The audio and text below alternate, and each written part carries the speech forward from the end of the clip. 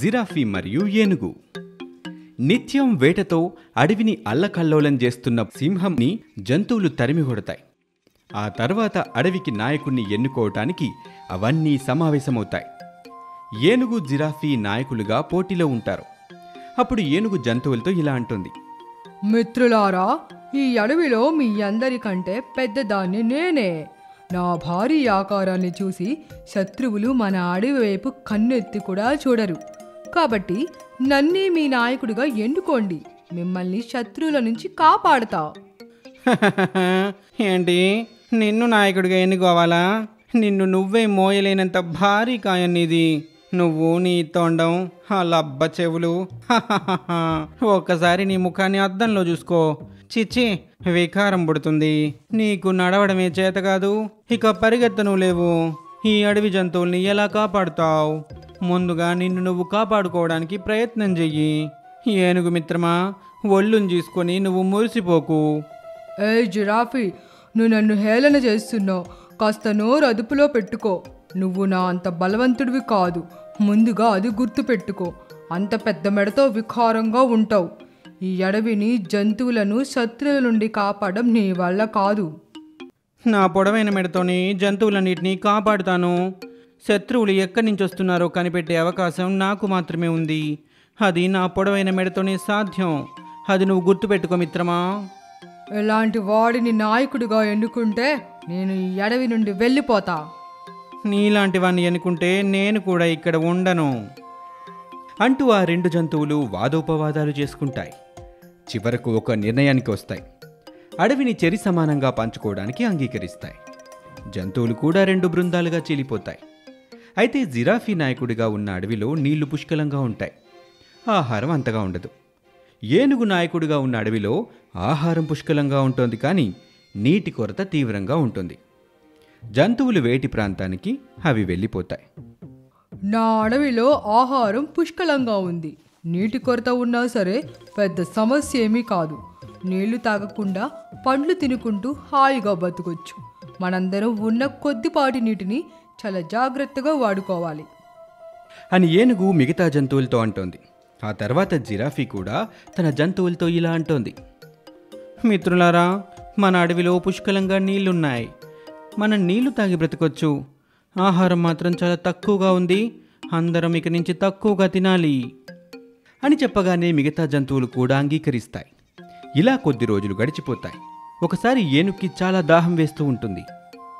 అబ్బా ఆహారం తిన్న తర్వాత నీళ్ళు తాగకుంటే చాలా ఇబ్బందిగా ఉంది.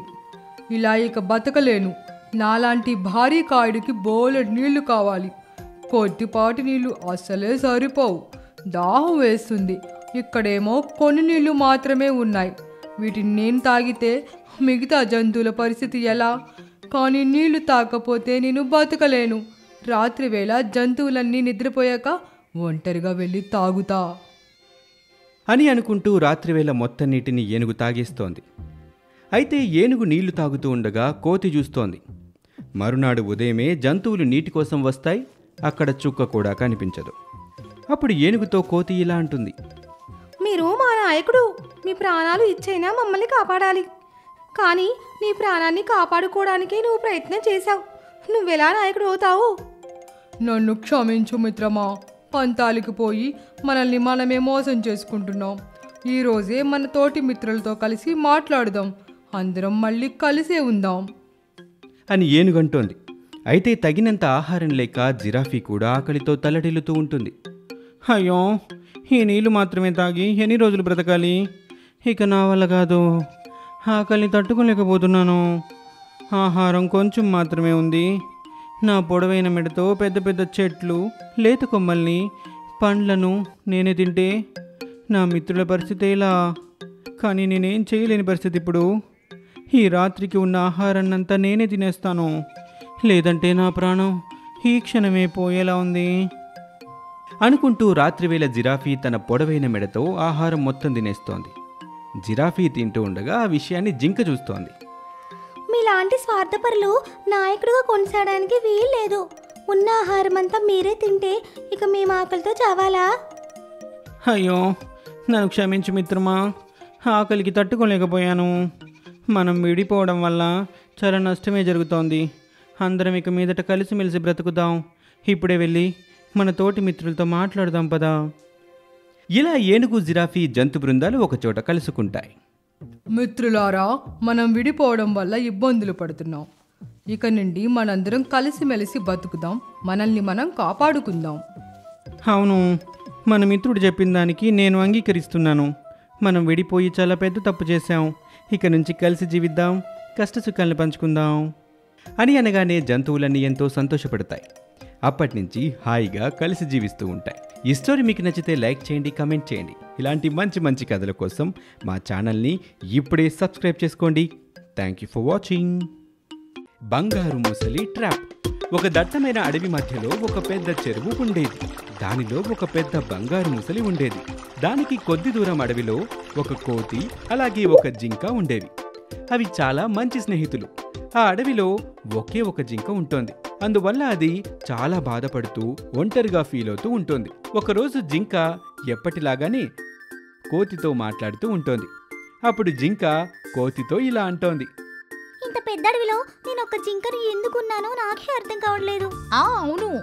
నేను కూడా అదే ఆలోచిస్తున్నాను.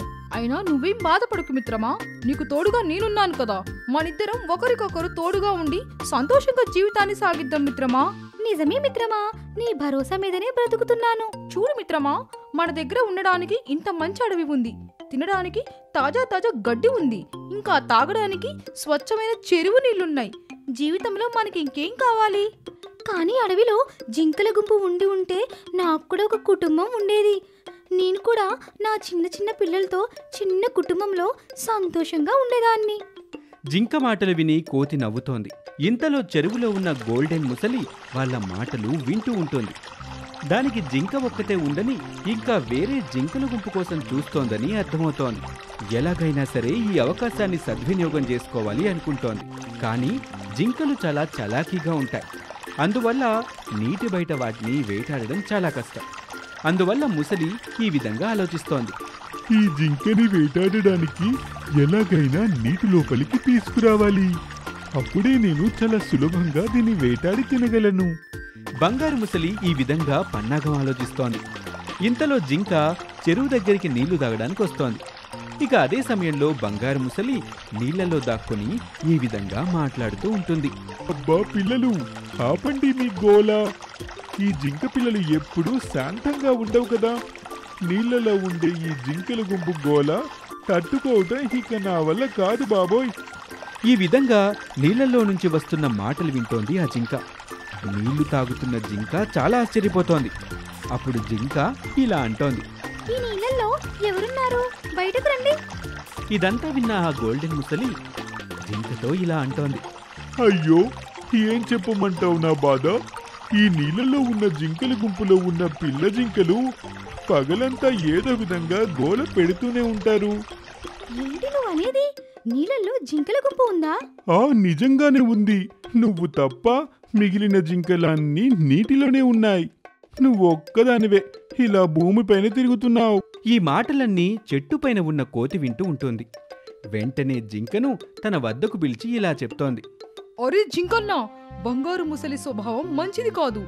నాకెందుకో నీళ్ళల్లో ఉన్న జింకల గుంపు గురించి అది నీకు అబద్ధం చెబుతుంది అని అనుమానంగా ఉంది. లేదు లేదు కోతి బావా నేనే స్వయంగా ఆ బంగారు ముసలి ఆ జింకలతో మాట్లాడ్డాన్ని విన్నాను. కానీ నువ్వు కేవలం మాటలే విన్నావు. వాటిని ప్రత్యక్షంగా చూడలేదు కదా.